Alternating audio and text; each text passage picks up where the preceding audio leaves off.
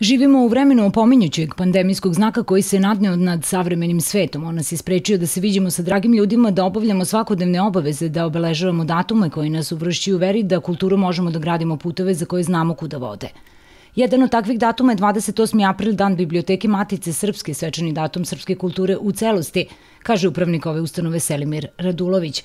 Prema njegovim rečima svest o tome da biblioteka postoji već skoro 190 godina dovoljan je razlog da se trenutna okolnost doživi kao prolazna, kao jedna od prepreka koje su je stajale na putu tokom niza godina. Bićete u prilici danas da vidite dve lepe elektronske prezentacije. Jedna će biti koji će biti na web sajtu Biblioteke Matice Srpske i na Facebook stranici. Jedna će biti o istorijatu i pregledu rada Biblioteke Matice Srpske od 1826. pa do danas, do 2020. A druga će biti posvećena prvoj razmeni knjiga Matice Srpske s, Ruskim, s Ruskom akademijom nauka. Povodom ovog dana ustanovljena je i nagrada Zlatna knjiga Biblioteke Matice Srpske. Dodeljuje se za doprinos bibliotekarstvu i bibliografskom radu istaknutog naučnika, književnika ili umetnika koji ima svoju zadužbinu u biblioteci.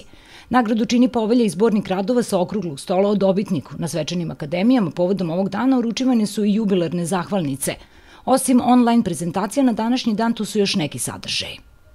Bićete u prilici takođe i da na, na našem sajtu i na našoj Facebook stranici e, se suočite sa svakih sat vremena sa po jednom pesmom naših najistaknutih pesnika, to radi naš Facebook tim i na našoj e, Facebook stranici i na našem sajtu biće i moje obraćanje povodom dana Biblioteke Matice Srpske.